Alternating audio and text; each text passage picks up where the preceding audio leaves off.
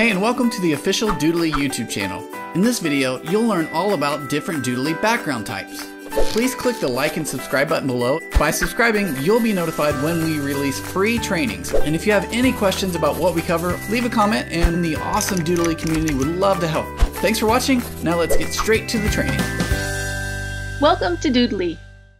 You might know that Doodly makes it really easy to create whiteboard videos. But did you know whiteboard isn't the only option with Doodly? In this tutorial, I'm going to show you the different types of backgrounds that you can use in your Doodly videos. So I have a short video I'm going to show you of the different board types. First is your basic whiteboard, which you're probably familiar with. Next up, we have the glass board, and you'll notice that the hand is on the other side of the glass. Here we have a blackboard, so it's a chalkboard. Similarly, we have a green board. You can also choose a custom color for your background.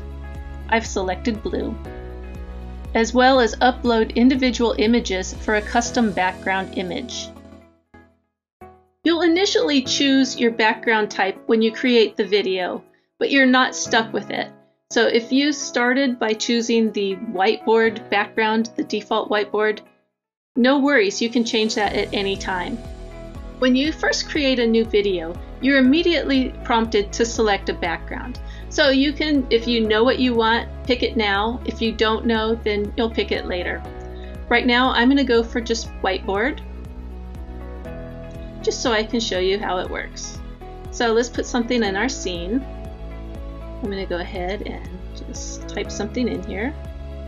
So that's your basic whiteboard. If we hit preview, you'll see the hand in front doing its drawing. Now, what if we wanted to change it? Well, we can do that. We can go over here to settings and we just simply change it. So we want to do a dark chalkboard, we click it, say OK, and it changes it. It also inverts the text and the colors so that it's instead of being black on white, it's now white on black. If I want to change it again, let's say to glass board, I just simply select it. And now it's back to black on white, except for this white is actually clear, it's glass. As you'll see when I hit preview, the hand is behind the glass. Now there are two types of custom backgrounds you can do. So if we go here and choose custom, the first one is custom color, and you'll notice there's an arrow down here right next to it. You can also choose custom image. We'll start with custom color. Click the color swatch here and choose your color. You can use the color picker to fine tune the color that you choose as well. Click apply and you now have a custom color background.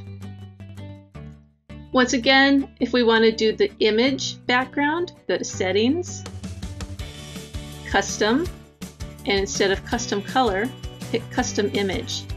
Now browse your computer for an, a background image that you'd like to use. You can position and resize what's, how it's going to appear on your screen. Just doing that. In this case, I have transparency here on both edges, so I want to be really careful not to have the transparency, so then it'll just cut it off. And I think this will look nice, so I'm going to go ahead and click Done and Apply. And that's the basics for the Doodly background types. In a future video, we'll go over how to change these scene by scene, as well as change the hand styles. Thanks for watching!